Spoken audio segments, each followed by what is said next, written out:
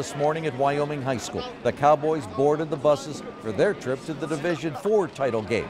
This is another team that goes to state undefeated, taking everyone's best shot all season long.